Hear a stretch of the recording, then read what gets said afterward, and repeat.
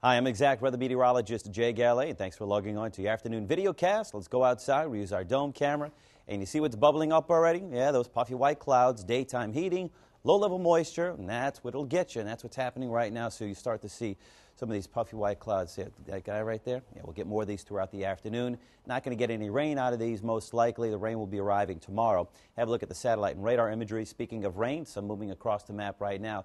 Nice little swirl. You see that right there? Brought some severe weather through parts of uh, the middle Mississippi River Valley in the overnight hours, and then down by Texas, we're seeing another little swirl working.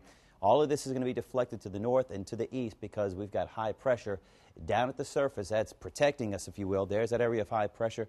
Everything's going to move up and over. Now, down toward the south, near Florida, southern Florida, we are looking at a little disturbance there, and the mid level area of high pressure is going to toss some moisture our way. And by tomorrow, we are looking at a few scattered showers and maybe a thunderstorm or two, so be prepared for that. Yesterday's high was a warm one.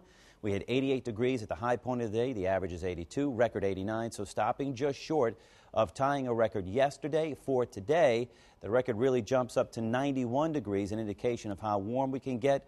And though we are going to be warm, we're not going to be breaking any records today, at least I don't think so. We'll do 87, 88, and maybe 90 in a couple of spots on the North Shore, keeping your average temperature in the afternoon at 82 degrees. So we had some morning fog this morning. We'll probably have that tomorrow morning yet again.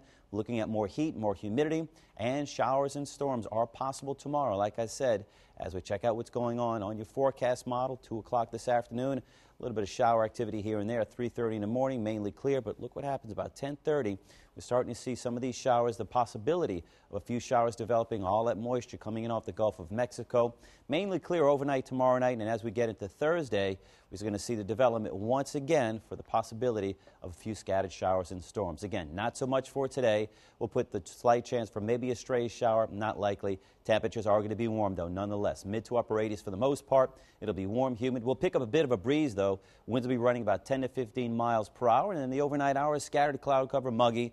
And again, a few areas of fog possible. Winds will remain light expecting your temperatures to be in the mid, six, uh, mid 60s to lower 70s. So there's your 40% chance of rain tomorrow.